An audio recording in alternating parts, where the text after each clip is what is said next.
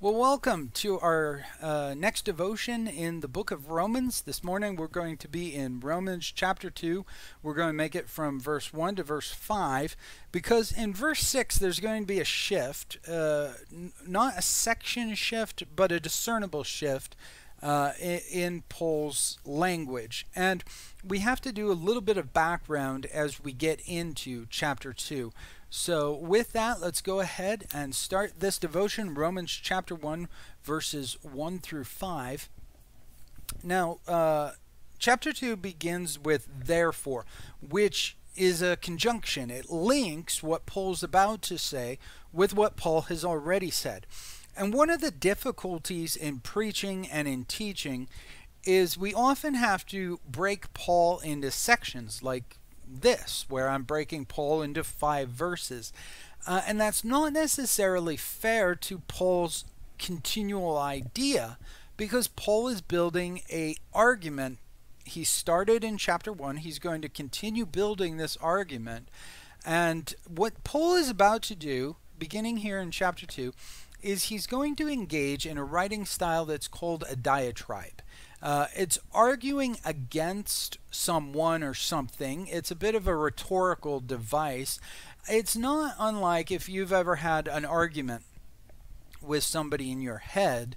Um, that's not unlike what Paul's about to do. He's about to engage in an argument with several invisible opponents. And the invisible opponent is going to have a position, and Paul is going to address that position. Now, this comes up in, in different ways. It comes up sometimes as a rhetorical question. Paul sometimes is perhaps parroting or um, uh, presenting a fictional speech by one of his invisible opponents. Where did Paul come up with these arguments against his preaching of the gospel? Well, I want to remind you that in the book of Acts, after Paul's conversion, immediately after Paul's conversion, and uh, he's baptized and he begins to preach Jesus right there in Damascus. Uh, and so he's engaging Jews in a debate that Jesus, uh, the, the, the carpenter turned Messiah figure who was crucified, is actually the Messiah and that he's a raised Messiah, which of course uh, is a completely, thoroughly un Jewish Second Temple thought. So, right away, Paul has to engage Jews. And you see this throughout uh, Paul's missionary endeavors. Uh, Acts chapter 9, chapter 13, chapter 14. He's engaging with Jews primarily, uh, but he is the uh, apostle to the Gentiles. And you'll remember that in Acts chapter 17, Paul ends up at the Areopagus, which is kind of the the Greek center of thought. And it's over this career. Remember that the book of Romans is probably written at the end of the third missionary journey. Paul has engaged how many people over the years, Gentile and Jew, and he's probably heard people object. Well, wait a minute, Paul, what about this? Well, wait a minute, Paul, you said this. Does that mean da da da da da? And that's the thing about a diatribe. It can uh, take on rhetorical questions. It could be parody in a sense. It could be fictional speeches by uh, your adversary. Now, here I can speak uh, to some experience. I have a personal thought regarding baptism, regarding baptizing somebody who is young in age and not having parental involvement in the in that baptism. And i'm not necessarily in favor of doing things of that nature. Uh, i brought this topic up on four different occasions to four different audiences. The first time uh, was with a, a, a pastor in my own tradition and so that. Uh, the second time was with a group of youth pastors uh, who represent a quite a quite a span of tradition, uh, traditions, and backgrounds. I do have to say, everybody was believers baptism. We didn't have any Paedo Baptist voices present at this. The next time was with somebody who's a member of a contemporary religious movement. Now, what I mean by that is, I don't particularly find the word cult a helpful term. Uh, this this uh, his his religion is one of those that cropped up here in the U.S. within the last 200 or 300 years. Uh, oftentimes, people call his group and, and groups like his cults. I'm not sure that that's a helpful term, and so uh, he's a member of a, a, contemporary religious movement that has particular views on baptism and so forth. And the fourth time I engaged this conversation and brought up my point was with somebody who I would describe as irreligious, who had some form of a background that involved. Uh, the sinner's prayer and involved uh, once saved, always saved, which I believe is, is a horrible perversion of what uh, Calvin actually taught, but that's a different thing. Each time I was engaged in these four different discussions, I brought up an illustration and I lost my audience each time I brought up this illustration. And it makes me realize that if ever I was to talk about this and bring up this illustration, I either need to be willing to, to to defend my illustration, which unfortunately gets us off topic, or two, I need to come up with a better illustration that keeps us on the actual topic of baptism. So, with that, I've engaged four times and I've seen all four of these diverse audiences. Now, admittedly, all, all four were Americans, which explains how I lost them on this particular topic. But that being said, um, Paul has engaged this numerous times, and these, the arguments that he brings up here in the book of Romans, are probably arguments that he has dealt with, that he uh, has engaged with, either from a Jew or from a Gentile. Uh, now, one more thing about this diatribe Paul is going to refer to somebody as you. He's going to use the second person personal pronoun, you, uh, starting here in uh, chapter 2, verse 1. Now, based on verses 1 through 16, it could be a Jewish Christian. It's more likely that it's a Gentile Christian or Gentile Christians in the plural. Uh, now, I, I believe that that could be intentional because Paul then leaves it open to anybody. This section could apply to either to the Jew or to the Gentile. And what Paul is about to say of them is that they are judgmental. Now, uh, Jesus said in the the parable, uh, uh, excuse me, on the in the Sermon on the Mount, uh, in Matthew chapter seven, verse one, "Do not judge." And when we think about that, um, that that is something that we then take to heart, and we wonder: Is there any time then that we should judge somebody? Well, in the very same chapter, chapter 7 of Matthew, verse 20, Jesus is talking about false prophets, and you will recognize them by their fruits, which means you are judging them based on what they are doing, how you see what what fruits you see coming out of their their life, and so there must be within Jesus's uh, uh, picture, there must be some judgments that are uh, within your scope, within uh, uh, allowability. Now, now that being said, we then look at Paul, and I think that we see Paul judging uh, at times. In 1 Corinthians chapter 5, Paul is judging somebody engaged in sexual immorality and telling the church, you need to put this fellow out of your, your fellowship because of this sexual immorality. So, uh, so this judge not uh, no judging uh, is a bit of a false dilemma. There has to be some form of judging that is allowed.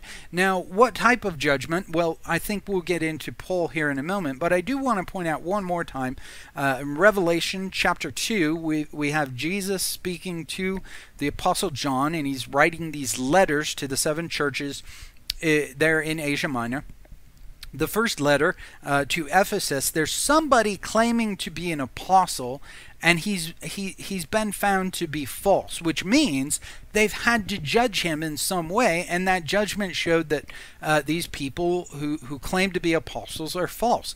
Now, uh, in, in the letter to Pergamum, there's some teachers who follow the teaching of Balaam, which is probably meaning uh, they they Balaam is an archetype for them. And whatever it is that they are teaching uh, based on Jesus' words, they're encouraging people to engage in sexual immorality. Now, the same thing is happening in Thyatira. uh, some prophetess is teaching Christians to commit sexual immorality. And so you see Jesus uh, judging these, these churches for tolerating uh, these kinds of teachings within their ranks, which once again means that there is some form of judgment that's required of the Christian it probably has to do with, like Jesus says, you will know them by their fruits. And so when you look at the fruit that comes out of their Christian walk, if that reflects much more uh, sexual immorality or other types of immorality, um, then it's probably wise of you to judge not to follow their example, judge not to follow them. With that said, let's go ahead and jump in here at uh, Romans chapter 2, starting in verse 1. Therefore, you, here is our, our imaginary opponent, you, therefore you have no excuse, every one of you who passes judgment. For in that which you judge another, you condemn yourself. For you, uh, for you who judge part, practice the same things. Verse 2 And we know that the judgments of God rightly fall upon those who practice such things. Uh, whoever this you is, wh- whether it's a, uh, a Jewish Christian or a Gentile Christian, Paul is addressing them, and it specifically points out that they are judging people although they do the exact same thing that they're condemning others for doing. Uh, in verse 2, Paul introduces another group, the we, uh, which he would include himself in, and he's probably including his audience in. We uh, know that God's judgment rightly falls on people who do such things. And so, there too, we see that in verse 1 there's a judgment that involves uh, people who practice the same sin but judging others. We also see in verse 2 there's a type of judgment that you're in agreement that people who commit such things when the judgment of God falls upon them, it's right that the the God, uh, that the judgment of God falls upon them. So this is an interesting dilemma. There's some type of judgment that's wrong and there's some type of judgment that's right. And we're going to get more into what Paul specifically says about uh, the wrong. Uh, verse 3 But do you suppose this, O man, excuse me, O man, when you pass judgment on those who practice such things and do the same yourself, that you will escape the judgment of God? Verse 4 Or do you think lightly of the riches of his kindness and tolerance and patience, not knowing that the kindness of God leads you to repentance. Now, this is very strong language going on here in verses uh, 3 through 4. Um, he's addressing the again the you, uh, the the you that judges another, but also the you that does the same thing that they judge in another person. Now, what do we generally call that when we know of somebody who uh, thinks that that's wrong, but then they go ahead and do it anyways? We usually call a person like that a hypocrite, don't we? Now, Paul says something very strict here, and I think everybody needs to to pay attention to Paul's words here. They are condemning themselves, but they're convinced that they will escape God's judgment. Now, this is a, a very serious thing. Whoever the you is in this section, they are a type of moralist who believes that certain sins are, of course, wrong. And it's wrong for people to commit those. But almost in that, well, it's wrong for you to commit that, but it's not wrong for me to commit that. Now, we've got to wonder what exactly it is that would lead a person to think it's wrong for others to commit this sin, but it's okay for me to commit this sin. What would be reasons that people might give for thou shalt not applies to you, but thou shalt not does not apply to me. Or perhaps what theology is standing behind them, suggesting to them that it's okay to continue in sin because you have some form of a relationship with God that although you sin, you're going to get out of this judgment to come.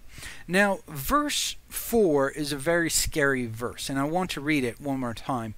Or do you think lightly of his kindness, of God's kindness and tolerance and patience, not knowing that the kindness of God leads you to repentance? I hope that all of us can earnestly and honestly answer no to Paul's question here in uh, verse 4. Uh, I, I think about my own life and I think about my life before Christ and how I did engage in numerous sins. And, and the point here is not to uh, um, engage in a, a, a, list of who, whose sins list is, is longer. But I have to say that there were so many times along that way that God could have smited me, smitten me, right at that very moment. And yet God didn't smite me at that moment. He let me continue on on my path, and my path eventually led me to repenting of my sins and turning to God, uh, being forgiven in Jesus Christ. And I think that that's something that Christians need to have in themselves in our day and age. Yes, it's very easy to turn on the TV and to see this celebrity or this politician or this quasi celebrity uh, who who engages in these kinds of sin and who does that kind of thing and does this and does that. It's also very easy to see, you know, probably in your own life, people who engage in sin.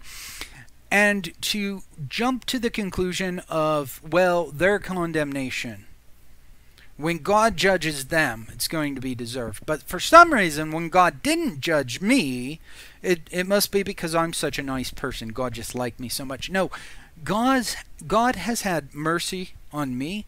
He gave me all of that time to repent. I did repent. I did respond. And I believe that that needs to be our attitude to this sinful and fallen world. That although they are sinning, that God is being patient with them. Now remember that Paul said that the wrath of God is present tense being poured out, and I think that that's true, and I think that we see that in people facing consequences for their sins. But hopefully those consequences for them sin for their sins will wake them up enough to make them realize uh, this sinful life isn't all that uh, it, it's sold as. It's not as good and as glamorous as people have made it out to be.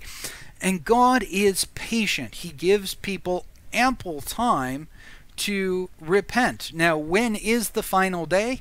I don't know, and neither do you, uh, and neither does the sinner. And so I don't recommend putting it off until uh, putting it off indefinitely. Uh, I think it's something that we should engage in. I think it's something that we should uh, be willing to talk about. But at the same time, uh, as long as it's still today, using some Hebrew uh, book of Hebrew language, as long as it's still today, there's still time to repent. Wrapping it up here in verse 5. But because of your stubborn and unrepentive heart, this is the you that we've been talking about, Paul's been talking about since verse 1. Because of your stubborn and unrepentive heart, you are storing up wrath for yourself on the day of wrath and revelation of the righteous judgment of God. Verses 1 through 4 is presenting this you person, and this you person is storing up wrath for themselves for the judgment day. Now, I believe that every believer should take this section to heart and ask themselves some piercing questions regarding it. Do I treat God, uh, th- do I treat the grace of God? Do I treat the love of God? Do I treat the mercy of God as a get out of jail free card? As a go on sinning? uh, and having a good time sinning because God is gracious, God is loving, and God is merciful. I think that that is this person that Paul is talking about here.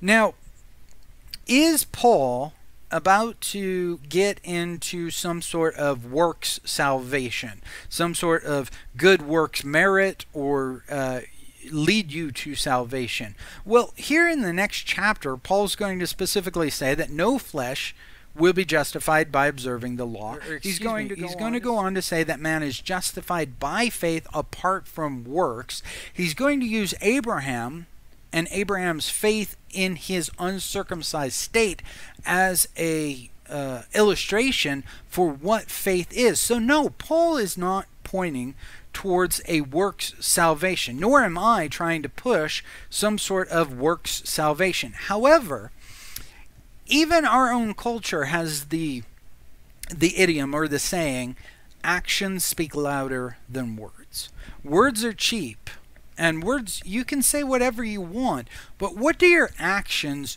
really point to? What do your actions really say about you and about your views uh, in this life? And here's one of those times that i actually don't think the divide between james and paul is actually that far apart. Of course, in the book of James, chapter 2, verse 18, Paul, uh, excuse me, James is talking about faith, and he's saying, I will show you my faith by what I do. And that's not unlike what Paul will eventually write when he writes Colossians uh, chapter 3, verse 5. Uh, Put to death worldly impulses such as immorality, not using God's grace and God's love and God's God's mercy as a carte blanche to continue on sinning. Uh, and so, with that, I think that every Christian should take this to heart. They should ask themselves, uh, if I'm judging, what kind of judging am I doing? And two, am I this kind of a person who, who treats God's love and God's mercy and God's forgiveness in such a way that really I'm not experiencing it? Somehow I'm uh, usurping or cir- circumnavigating God's uh, purpose and actions in my life by choosing to continue to sin, but this whole time believing that I'm saved, uh, whatever that is. All right, with that, we're going to wrap it up. I'm going to pick it up next time, uh, starting in verse 6, uh, and we're going to go to the end of the uh, section, verse 16. I hope you join us again, and uh, I'm going to keep on praying for you during this time. I hope you keep on praying for me during this time, and I just want to thank you so much.